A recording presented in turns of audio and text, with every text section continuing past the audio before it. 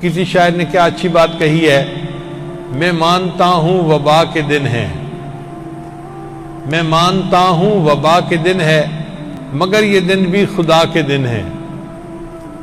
मैं मानता हूँ वबा के दिन है, मगर ये दिन भी खुदा के दिन है। दिलों से मायूसियाँ निकालो, ज़रा से आगे शफा के दिन है।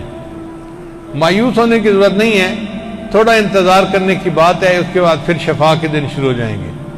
मैं मानता हूँ वबा के दिन है, मगर ये दिन भी खुदा के दिन है। दिलों से मायूसियाँ निकालो, ज़रा से आगे शिफा के दिन है।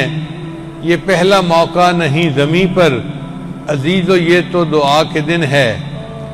ये पहला मौका नहीं ज़मी पर। वबाएँ तो पहले भी कई दफ़ा फूटी ये पहला मौका नहीं ज़मी पर। अजीज़ो, ये तो वफा के दिन है। गुजर गई उम्र गफलतों में, यही तो रब से वफा के दिन है। बाकी उम्र तो गफलतों में गुजर गई।